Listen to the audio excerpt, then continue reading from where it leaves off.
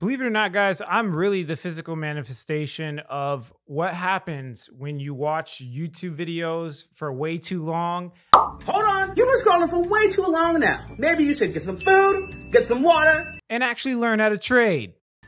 Uh, and, you know, really get a lot of your information from YouTube. Although I say, hey, you know, you probably shouldn't make your investment decisions off of YouTube.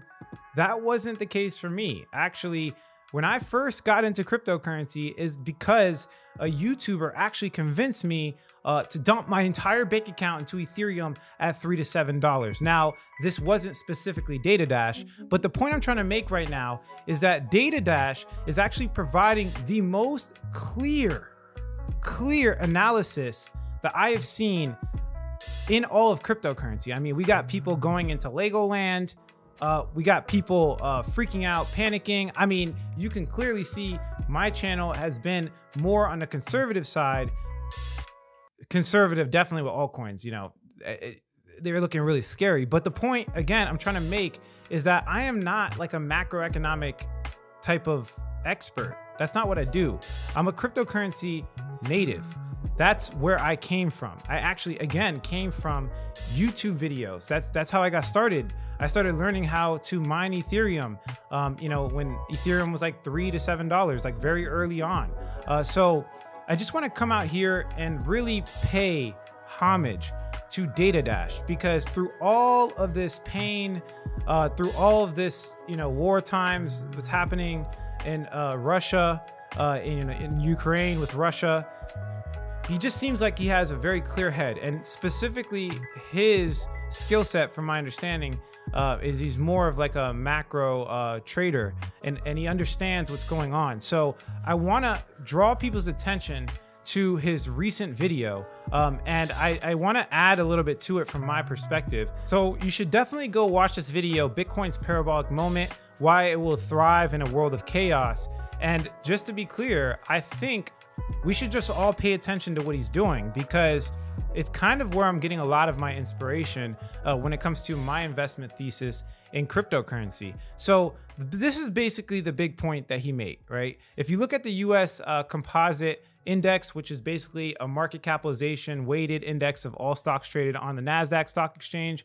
So essentially, it represents the stock market. I'm sure there's probably a much deeper word. Uh, that he can come up with uh, that sounds smarter uh, than that. But clearly, okay, you could see if you weight this against Bitcoin, right? So when this chart goes up, that's Bitcoin. When this chart goes down, um, that's the NASDAQ uh, composite index.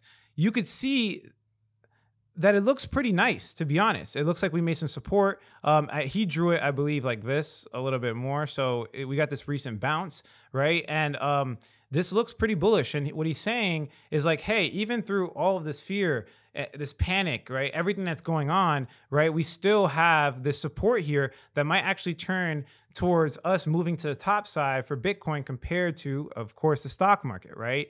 Now, I do want to add to that a little bit because, you know, the big point of what he's trying to make is that, hey, we're in a full on war um, you know, Bitcoin's not reacting that bad, uh, to be honest, compared to, you know, other assets or, you know, in some cases, altcoins.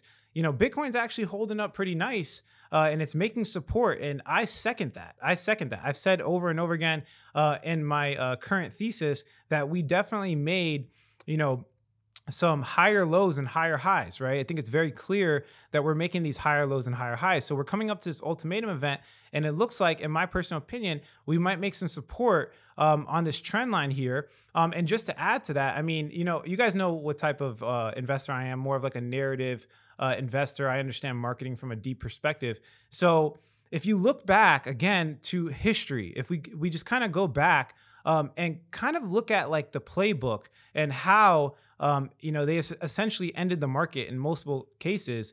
Um, there's a couple of things that stand the test of time. And this is the beauty of looking into the history, right? And understanding the history of cryptocurrency. And this is what I do well, um, is you can see clearly that there's a couple of things. Something that has to do an exchange usually ends the market, right? Look, Mount Gox exchange hack, uh, China bans Bitcoin, but also another Mount Gox hack, right? Um, we also see a, a, CBOE futures launch at the exact top.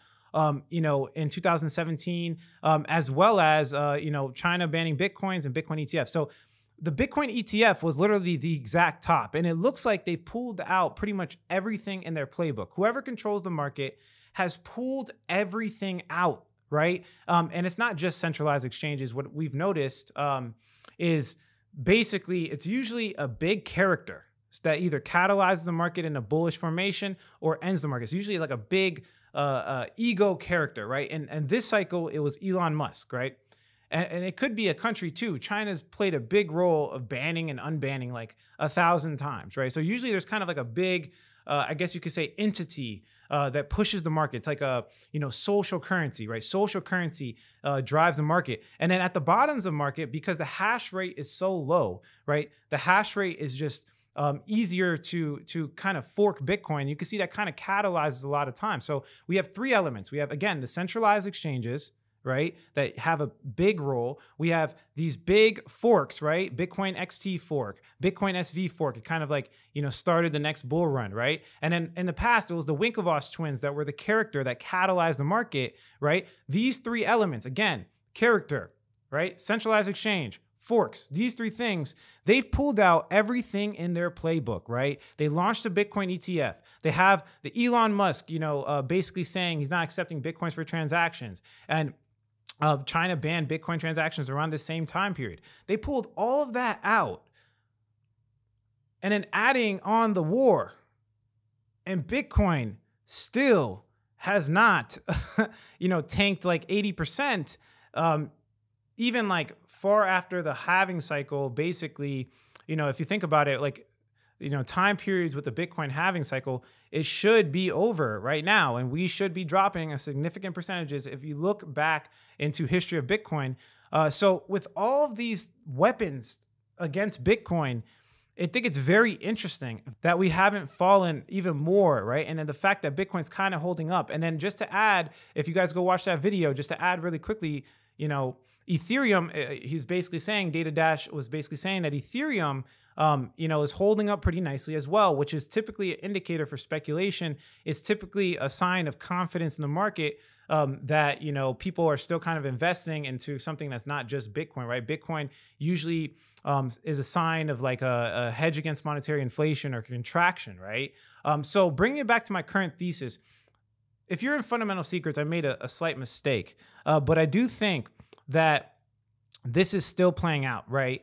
Um, the mistake I made is that I got I'm getting bullish, right? And I know a lot of you have been kind of seeing uh, the vibes on my channel. I'm getting bullish on Bitcoin, um, and I kept saying financial sanctions narrative, financial sanctions narrative, but I purchased altcoins, which was was the wrong decision, right? And and you know, Fantom dropped, and I lost money on Fantom.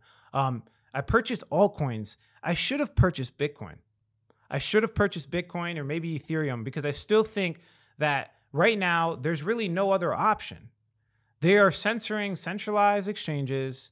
Um, they are censoring uh, specific entities on the blockchain. I've talked about this. Andre Cronje, Fantom. Um, you know, I'm willing to bet they're going to probably come after more people. This is just the way it is. The SEC has this big, um, you know, that they're investigating all of the influencers in crypto.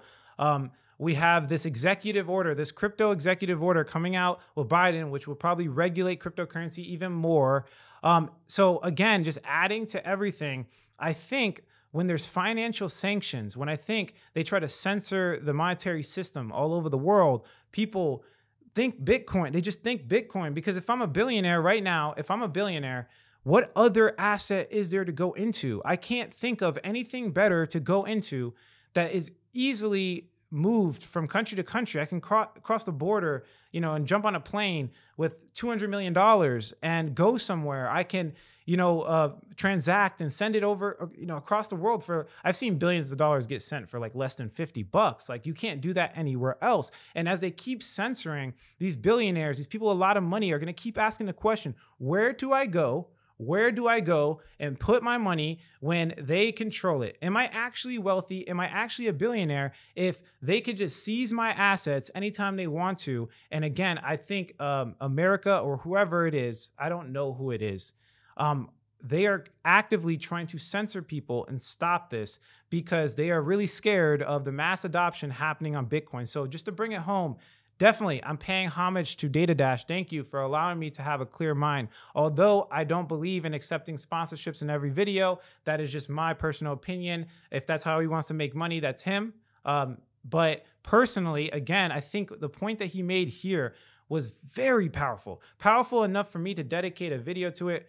I'm not a hater. Let's ally up. Yo, hey, Data Dash, we, we're fighting a financial war here. Let's let's join forces right? Let's join forces. Let's spread the good word of education in cryptocurrency on a consistent basis. I really like what you're doing. Your macro perspective is really good. I think I have a tap on narratives um, and, and, you know understanding people very well. Uh, so maybe we can join forces and maybe we can do an interview or something like that. Uh, but what he said was on point, right? Very on point.